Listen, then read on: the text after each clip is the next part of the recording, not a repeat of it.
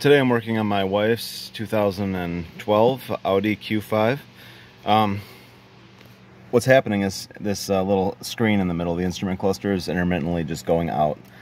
Like right now, turn it on, this thing should be lit up and it is staying off. So I'm going to show you um, I'm to show you how to fix this. So first thing you need to do is uh, just take your steering wheel and make sure it's adjusted all the way down and, and then pull it towards you and then just push it down and then lock it up. And then take this piece of trim here and pull this out. Pull this towards you, it's just clipped in. So here it is. So now you can see the two screws right there.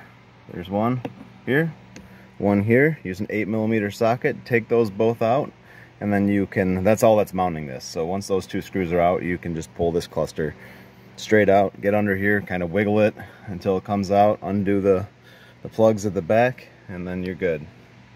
What I'm gonna do is um, swap the swap the screen out of this used unit, just a junkyard um, instrument cluster, into the uh, into my wife's uh, instrument cluster here. So there's a bunch of you're gonna use a T10 Torx screw around the perimeter of this, and then a few of them through the middle here and here and uh, get all those screws out of there and then um, these little plastic clips have to be released. You may need a several screwdrivers to kind of hold them while you're um, releasing them all so you can pop these covers apart and get this thing dismantled. So I'm gonna undo all these screws and then start um, getting these clips released and start pulling this apart now. Now that I pulled the the covers off just those screws I showed you and then those clips you can release those with a screwdriver and then you're good. Then you can get to uh, you can get to everything. You can uh, See, I'm going, that's pretty cool.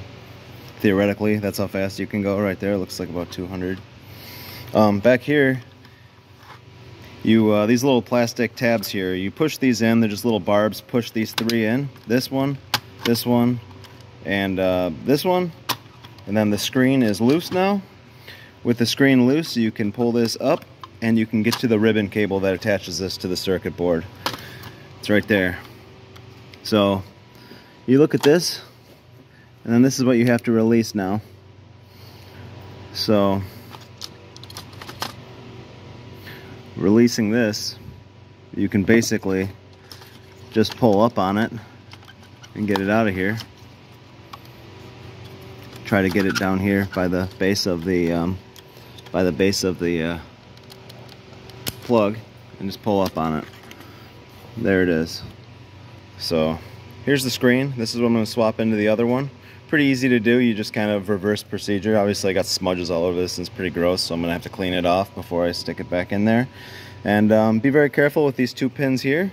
These pins have to fit into there, so when you're installing it, just focus on that more than even the barbs in the back. Those aren't as important. Plug this in, push it on straight, clip it in, screw it all back together, and uh, you should be good to go. So sometimes with these, I've even just unplugged them and plugged them back in and had them, you know, just continue to work. I don't know what I don't know what the problem is if there's a connection issue through this ribbon pin or, or, or what exactly the problem is here, but just noting that it may even be worth since this is pretty easy to get apart, it may even be worth just unplugging it, plugging it back in, and um, seeing what happens. So, thanks for watching.